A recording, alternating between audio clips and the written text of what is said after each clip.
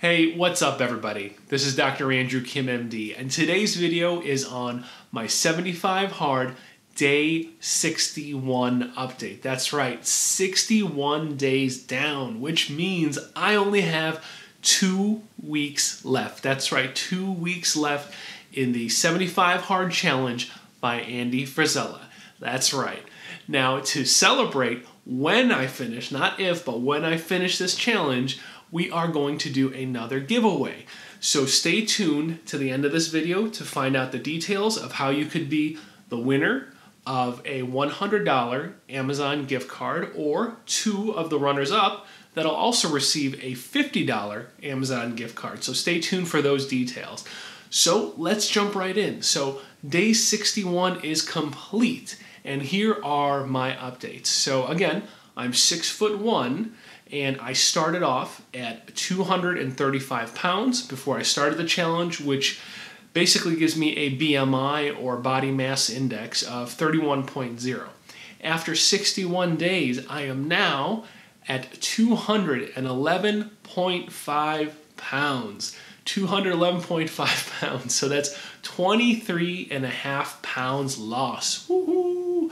And my BMI went down from 31.0 all the way now to 27.9. Awesome, awesome, awesome progress. But again, it's not just about the numbers. So, some highlights uh, from this week on progress that I've been making. Well, when it comes to physical uh, fitness and exercise, look, again, I went from being a couch potato, uh, not wanting to run at all. I hate running.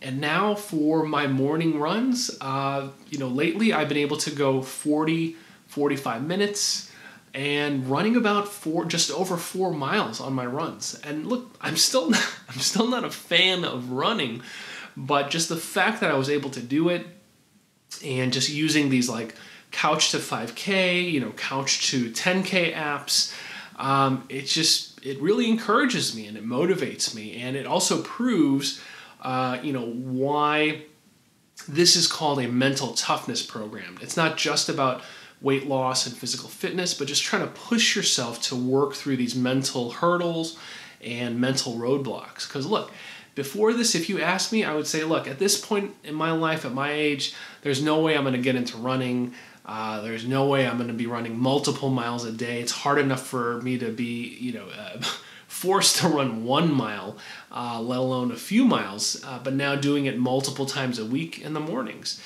And, you know, each morning, it's still not easy. I'm running, and I can't tell you how many times during those 40, 45 minutes in my head, I'm like, ah, this is far enough. This was good enough. I can't do it today. I'm too tired. I'll do a better run tomorrow or the next day. And you just kind of have to push through that. And uh, I've been able to do that and make some progressions. I'm not breaking any speed records, but look, you know, it's good for my physical fitness. It's good for my health. So, you know, I'm, I'm proud and I'm, and I'm happy that I've been able to do what I've been able to do so far. And hopefully we just keep it going. Uh, other things that are not related to you know physical fitness or weight loss. Again, this is a mental toughness program, and part of it is about reading books. And some of the books that I've been reading have been focused on you know reaching goals, uh, about uh, money management, financial freedom. So look, there have been a few things that I've pushed off for. Uh, probably years and have been meaning to get around to and uh, just you know have more influence over, take more control of. And one of those things is just my own personal finances. Um, so literally in the last two to three weeks, uh, you know I've paid down the vast majority of my credit card debt. Um, I'm in the middle of doing a refinance uh, for our mortgage uh, at historically low rates. Um, because look, it's just a matter of filling out application, getting paperwork together, um, you know, I kind of pushed that off. Uh, but with rates so low, I'm just like, you know, let's go ahead and do this. So taking care of that, uh, I finally, I've been talking about it. You could ask my wife. I've been talking about it for years, but I finally started a, a college savings fund for Tyler, our son. He's going into kindergarten, so I got plenty of time. But you know, I said I want to start early and just you know put a little away each month so that can kind of grow. But I've been talking about it for like two, three years. So I finally got it done this past week. So these are some of the things uh, as part of the 75 hard that are not necessarily fitness related that I've also been working on that have been uh, highlights I wanted to share. Now, challenges. Um, I said that I had a goal of putting out another video that was not related to 75 hard uh, this past week.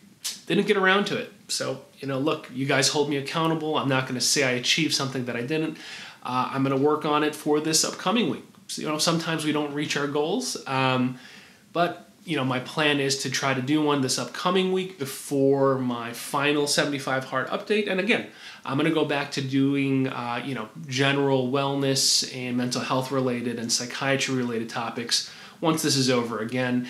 And you know, it's crazy. I've been getting a lot more views and a lot more comments on like my alcohol withdrawal video, depression video. So thank you for those people who have been watching those. I know I've gotten a lot of comments. Um, you know, and mentions about, you know, make more videos about psychiatry, make more videos about general wellness, and I will. I promise I'm going to get back to doing that in full swing once this is over in a couple weeks. So, uh, those have been some of my updates. Now, challenges for the future. I'm already trying to think ahead. Uh, my habit has been yo yoing. You know, I do something like this to kind of jumpstart getting healthy, losing weight, eating better and then I just kind of go back and fall back to my old habits. I'm already trying to brainstorm. I'm talking with my wife. How do I maintain this time? And how do I just kind of stay in a healthy lifestyle and not just kind of go through kind of a fad, um, you know, phase of exercise or eating right and then just kind of fall back once I hit a certain number. So I don't want to be so focused on, you know, I lost this many pounds and then just kind of go back to doing what I usually do, which is eating like crap and uh, being lazy. So, uh, trying to already think ahead, and that's one of my challenges for this uh, these upcoming two weeks. Is once I kind of finish the 75 hard, I don't want it to be like, ah, I'm done, and not be healthy anymore. It's how do I sustain and maintain this for the rest of my life. So that's a challenge, but something I'm going to be thinking about. All right, so let's jump into it. So, the Amazon gift card giveaway rules. Okay, so first of all, even if you have been a previous winner, you are eligible to win this giveaway. So, anyone uh, can win this. Now, look, there will be one winner for a $100 gift card and two runners up for a $50 gift card each. Okay, so, in order to qualify and be eligible to be selected as one of these random winners, first you have to subscribe to my YouTube channel. You also have to subscribe to uh, my Instagram account, um, you know, at Andrew Kim MD, and I'll put that in the details below. And after you subscribe to my YouTube channel, after you subscribe to my Instagram channel, uh, you also have to you know, tag two friends in the Instagram account. So you can kind of basically look, help me grow uh, my following here on YouTube and help me grow my following on Instagram. So again, you subscribe here on YouTube, you subscribe on Instagram, and you tag two friends on Instagram to check out one of my posts. Um, and if you do that, you are eligible to be one of the contestant winners. Uh, just let me know that you've done that. And uh, look, on my final update video two weeks from now. I'll give my final updates. Um, I will give my final before and after pictures, and I will announce the $100 Amazon gift card winner and the two $50 Amazon gift card runner ups. So, look, I hope you guys are doing well. Um, let me know what kind of healthy things you guys are doing as we kind of wrap up this 75 Hard Challenge series. This is Dr. Andrew Kim. Hope you guys are doing well. Hope you guys are staying motivated. Hope you guys are doing something healthy for yourself physically, mentally, spiritually, emotionally. Be safe, everybody. Tune in for the final 75 hard update and before and after pictures on my next video. Dr. Andrew Kim, signing off.